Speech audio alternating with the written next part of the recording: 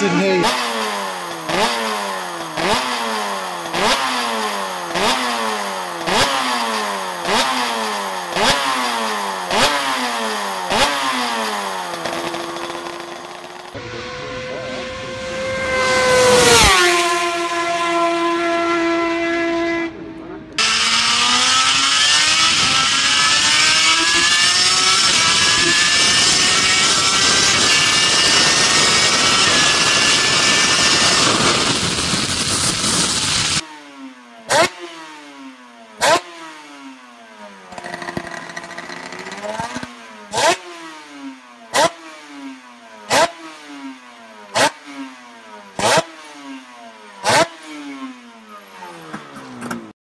Rode a, a Suter 500 was about two months ago. Uh, I gave Eskil a call and I heard about this bike and uh, we were looking for new bikes for the GP Legends events and uh, to fill the grids up and uh, so I gave him a call, come and have a look and uh, not only he's got an impressive engineering centre but he unveiled this 500 which is uh, everything of the past and more of the modern, uh, essentially. And uh, then he said, "Oh, let's go and I'll start it up and see what you think." So he starts it up and rides it outside and starts going up and down the street with no helmet on, may I say, with dogs running everywhere. And my son and I are watching, just going, "Oh my God, what's this crazy guy doing?"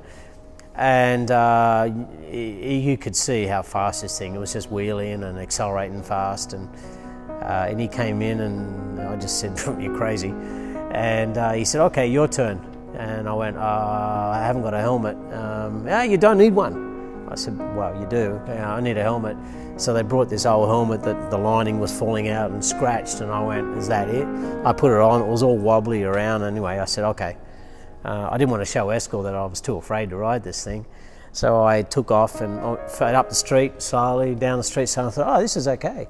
So I give it a fistful and the thing just reared up on the back wheel, went over vertical, nearly backwards, and i have never crashed uh, or flipped a, GP bike before, and it came right over the back, and I thought, oh my god, I'm going to be the first rider to crash a, a, a Suter 500, or first time I've ever flipped a 500 as well, and came back and pulled it back down. I got back, and, but I was a bit like that, very, very nervous. And I came in and my son, oh, Dad, that's so cool. Can you do that again for me? I went, are you kidding me? I said, I'm not doing it. I didn't mean to do it. And uh, I nearly shit my pants.